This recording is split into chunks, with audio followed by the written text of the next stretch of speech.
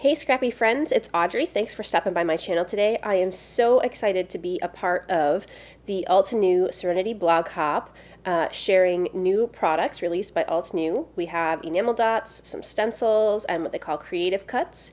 Um, so I am using this set of um, products today. There are a ton of other new products, um, new stencils and new creative cuts and new enamel dots. So um, they will be linked and please go check them out. So I am starting with this um, geometric landscape stencil and I am just taking some inks and going through the stencil. Um, the theme of my photo is a little bit about gardening, so I definitely want to have some green in my background. And I'm just using some scrap cardstock here um, because I'm going to punch, I know I'm going to punch some circles out, so these are just some scraps of cardstock I have in my pile. I'm going through just some different colored greens and kind of blending them up and I love the way that that line looks. I have to be honest, this is the second time I've used the stencil. I haven't shared uh, my other video yet that I've used this stencil, but I love the stencil for backgrounds. So I'm going to do that on a different shade of green, just so I can have, um, you know, a few different color green, um, green circles that I will punch and cut out eventually.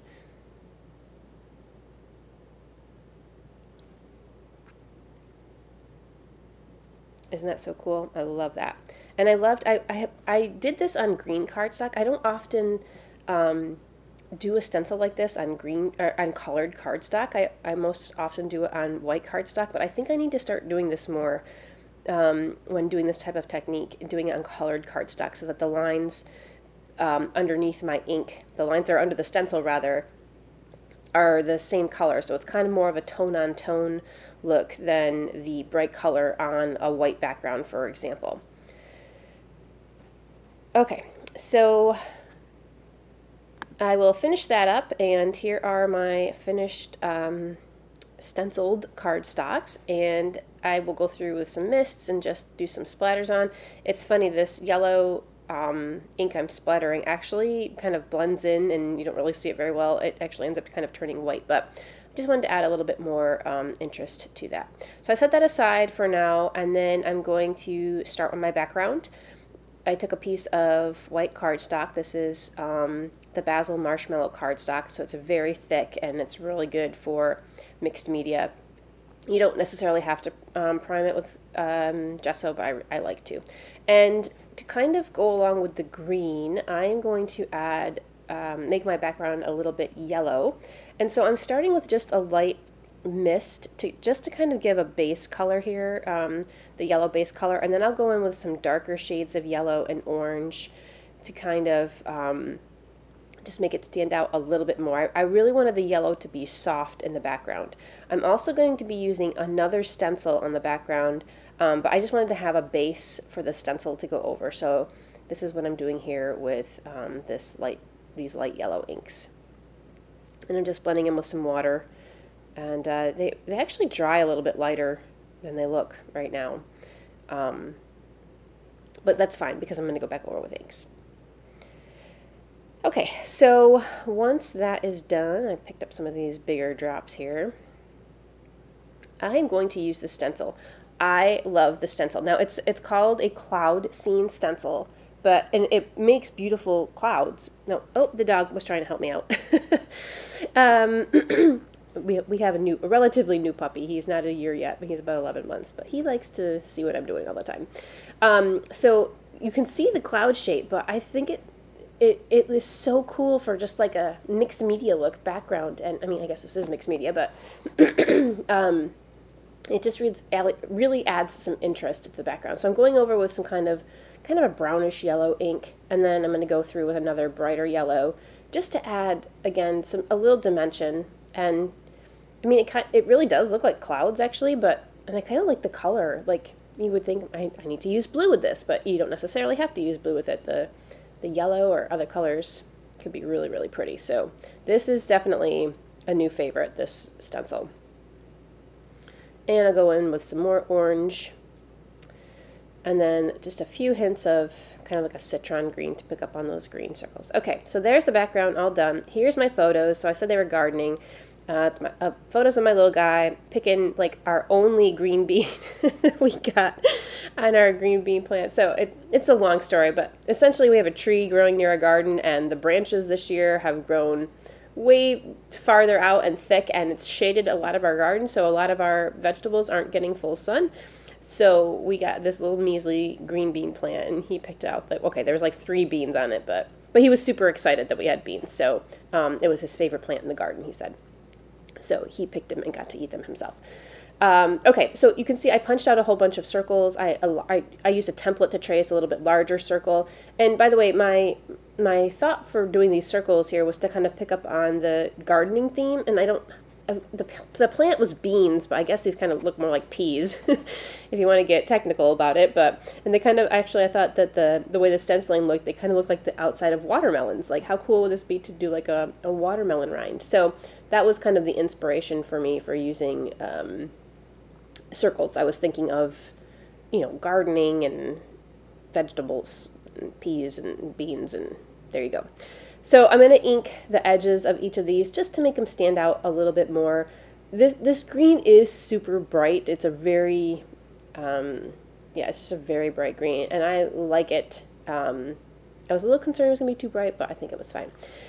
So I've also used some of these cutouts before, or sorry, yeah, these creative cuts before, and you can see I had some yellow and green ones, but they blended in too much with um, my page. So I'm going to spray some more with a contrasting color, and I'm going to use a whole bunch of blue sprays, a little hint of green in there.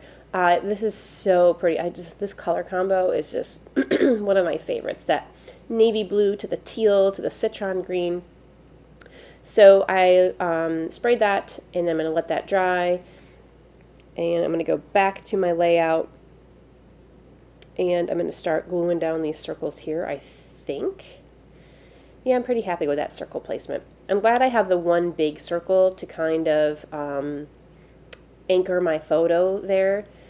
Um, oh, before I glue, I'm going to, so these wood veneer pieces are also Altenew. Um, I've used them before on projects when I did um, a hop for Altenew a couple months ago, but um, they're good. Uh, by, by inking them, it's a good way to add any color you want. So I am going to, again, use a contrasting color. I'm going to use um, the orange, and that will pick up um, orange that's in the splatters and the circles and on the background, and just really make, just really have a pop on the page. So I'm not exactly sure where I'm going to put these yet, but I kind of like that the little arrows pointing to the green beans. So I will distress these circles. By the way, if you haven't noticed, I haven't used any pattern paper or other embellishments on this page. I'm strictly using um, just Altenew products and some cardstock and some inks and mists. That's about it. Um, so it's kind of a fun challenge to do that. And you know, you can really with inks and mists and stencils and cardstock, you can really make your own patterns, and that's pretty much what I did here. Um, so if you want a specific color or a specific shape, stencils and colored cardstock and colored inks are the way to go. So once I've distressed all those, I will glue them down. And I, I, uh, I realized after I glued these down I missed one. You probably didn't see it yet either, but I missed one because I went to go pick it up and it fell off.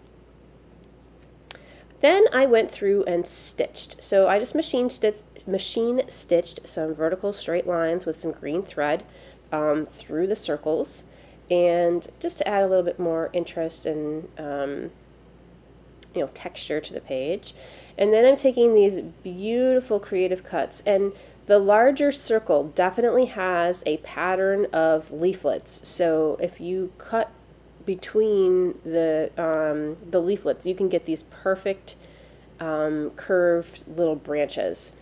The smaller one doesn't have um, like as defined of a of a break between like leaf sections, but you can obviously, as you see here, um, you know, cut them up to make really cute little leaf sections. So that's what I wanted to do. I wanted to kind of use this in a different way than intended with the circle designs. The wreaths are gorgeous, don't get me wrong, but um, but I just wanted to show you another application. And now I have this whole pile to my right that I'm not going to use, um, that I can use in another project. And gosh, that inks on those, the paper that these cuts are made out of just really absorbed the ink very well, the spray mist very well, um, and just came out so gorgeous. I love that. Okay, so I'm really liking how this is looking. I love the navy. I mean, I know you may not think to do leaves in a color other than green, but um, I really love the contrast of the navy with the green and the orange and the yellow. So it looks pretty. Um, trying to decide there what to do with this. I want, you know, if you watch my videos, you know I like to do things in my groups of three, kind of that visual triangle. So I'm trying to put another little blue branch up to the uh, top right to kind of balance out the other branches. Then I'm going to go crazy with the enamel dots here. Um, I also thought that punching circles out of the paper would, and, and then adding the enamel dots would kind of help add to the theme. So I'll put some um, circle ones, circle green enamel dots. This um, color combo is called Tropical Forest, and I love that they have some little hearts and stars, so I threw a couple of those in too. So try, still trying to decide where to put that third leaf branch here. Maybe there. Um, okay, also another Altenew product I've had in my stash, a stamp set um, that I've used on a layout before, and there's a little phrase in there that says, oh, happy day. Um, I'm going to stamp it on a circle here, another a different circle that I punched out. And then the first one I punched, the I didn't like the the ink wasn't dark enough because I used like a uh, charcoal gray ink. So then I'm going to try a black ink, and um, that was better, but I don't think I like the additional circle here. I I wasn't sure if I wanted to add another circle. So, and then I tried a smaller circle that was too small for the phrase. So I just decided to use a green ink that I stamped, that I initially made my circles with, and kind of just do a really subtle stamp on the circle above my photo. And that's, yeah, that's pretty good. I will go through and pop up my photos with some foam adhesive here. And uh, you can see I added just a couple labels. I'm just going to add my journaling on one and my date on another. And I'll put these arrows on. Now, some, because the photos are popped up, some of the arrows are raised up on the photo and the other arrows, the other arrow is just kind of sitting in the background. So from this angle, it looks like they're all in a straight line, but if you looked at them from the side, they are um, raised up a little bit differently. And then I'll add just another little tiny pop of orange heart over here. I put that one on. I thought it was too bright, and then I go back and have to change it. I'm very picky. It's not like these these colors are very, very different. There's very subtle, diff subtle differences, but I am very picky about that.